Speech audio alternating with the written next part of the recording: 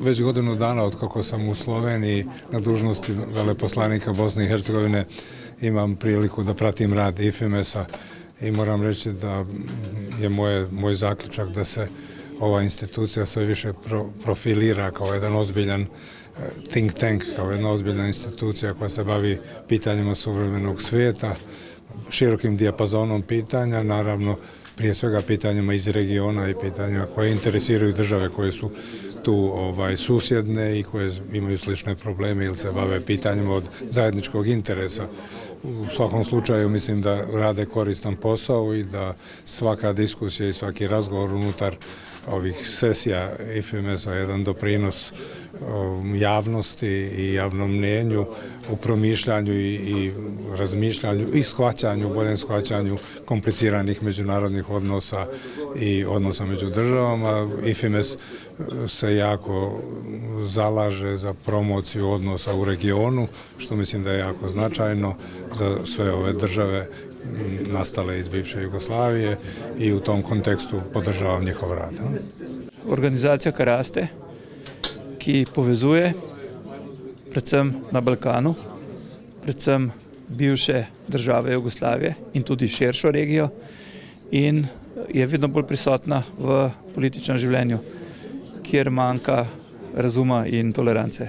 Što imao sam prilike da to pratim kao jednu nevladnu organizaciju koja je posebno zainteresovana za mnoge teme na Srednjem istoku i na Zapadnom Balkanu.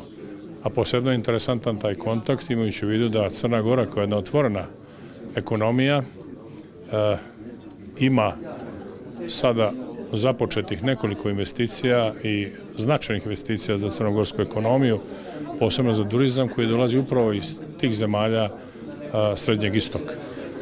Pa da vidimo, ta veza sada rekao bih možda i nova, nije toliko za prostor Balkana koja postoji između, da kažem, zemalja bogatih sa blistog, odnosno srednjeg istoka i recimo Crne Gore i značaja tih stranih direktnih investicija kao jednih značajnih ekonomskih injekcija za pokretanje projekata u infrastrukturi u turizmu kao jedno značajne komponente u crnogorskoj ekonomiji i njenom bruto društvenom proizvodu.